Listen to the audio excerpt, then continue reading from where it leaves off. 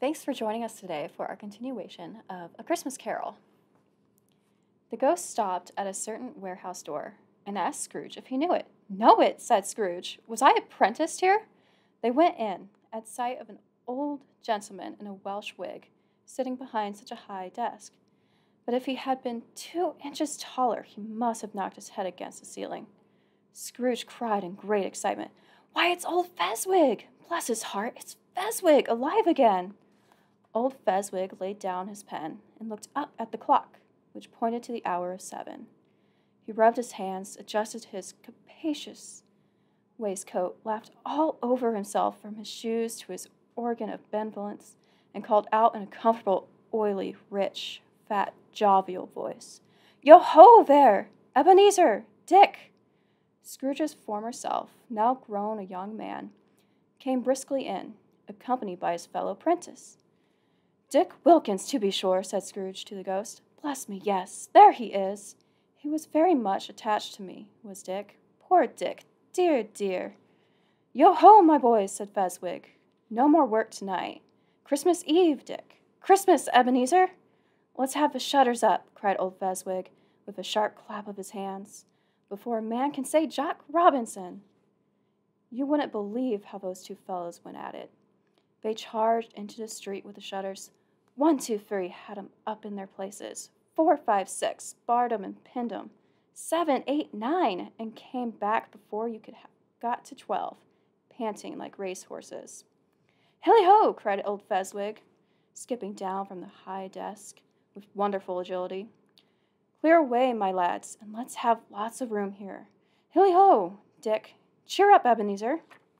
Clear away. There was nothing they wouldn't have cleared away, or couldn't have cleared away, with old Fezziwig looking on. It was done in a minute. Every movable was packed off, as if it were dismissed from public life for evermore. The floor was swept and watered, the lamps were trimmed, fuel was heaped upon the fire, and the warehouse was as snug and warm and dry and bright a ballroom as you would desire to see upon a winter's night.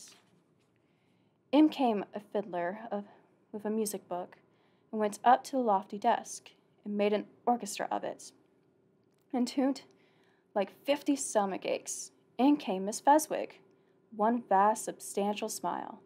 In came the three Miss Fezziwigs, beaming and lovable.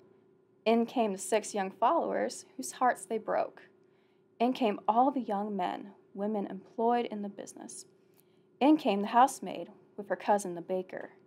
In came the cook, with her brother's particular friend the milkman. In came the boy from over the way, who was suspected of not having board enough from his master, trying to hide himself behind the girl from the next door. But one, who was proved to have had her ears pulled by her mistress. In they all came, one after another, some shyly, some boldly, some gracefully, some awkwardly, some pushing, some pulling. In they all came, anyhow and everyhow.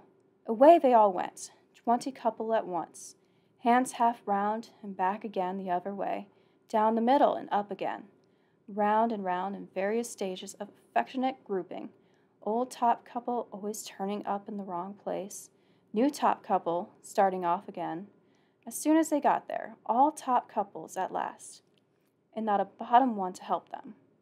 When this result was brought about, old Fezziwig, clapping his hands to stop the dance, cried out, Well done! And the fiddler plunged his hot face into a pot of porter, especially provided for that purpose. But scorning rest upon his reappearance, he instantly began again. There were, though there were no dancers yet, as if the other fiddler had been carried home, exhausted, on a shutter, and he were a brand new man resolved to beat him out of sight or perish. There were more dances, and there were forfeits, and more dances, and there was cake, and there were negus, and there was a great piece of cold roast, and there was a great piece of cold boiled, and there were mince pies and plenty of beer.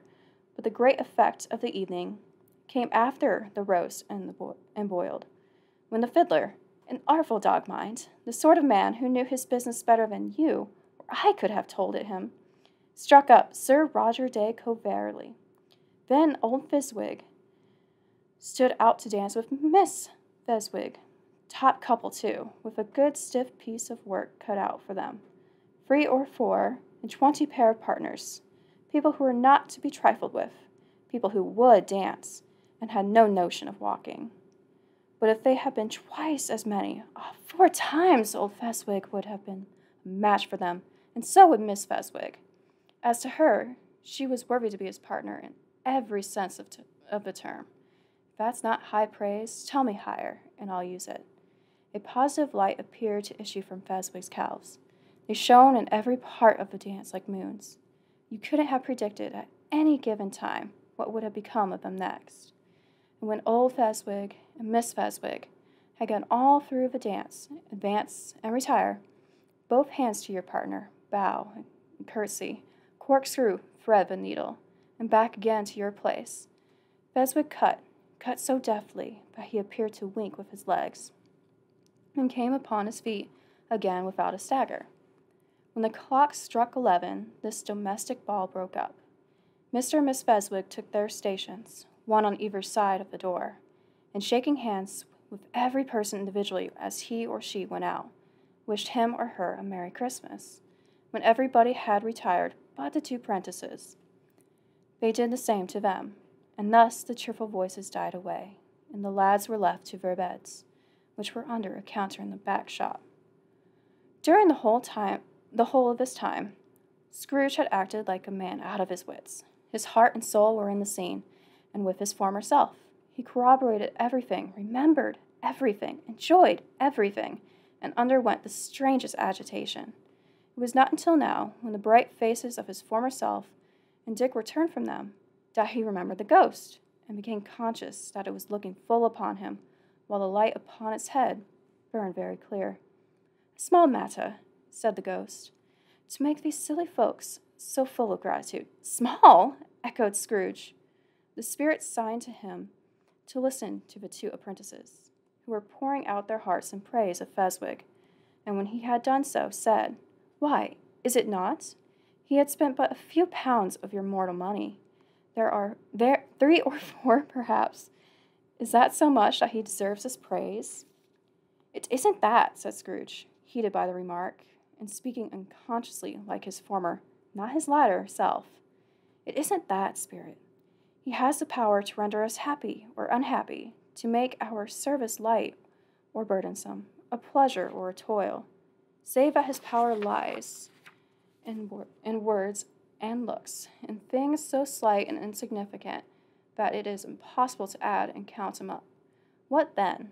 The happiness he gives is quite as great as if it cost a fortune. He felt the spirit's glance and stopped. What is the matter? asked the ghost. Nothing particular, said Scrooge. Something, I think. The ghost insisted. No, said Scrooge. No. I should like to be able to say a word or two to my clerk just now. That's all. His former self turned down the lamps as he gave utterance to the wish, and Scrooge and the ghost again stood side by side in the open air. My time grows short, observed the spirit. Quick! This was not addressed to Scrooge, or to any one whom he could see, but it produced an immediate effect, for again Scrooge saw himself. He was older now, a man in the, in the prime of his life. His face had not the harsh and rigid lines of later years, but it had begun to wear the signs of care and airs. There was an eager, greedy, restless motion in the eye, which showed the passion that had taken root, and where the shadow of the growing tree would fall.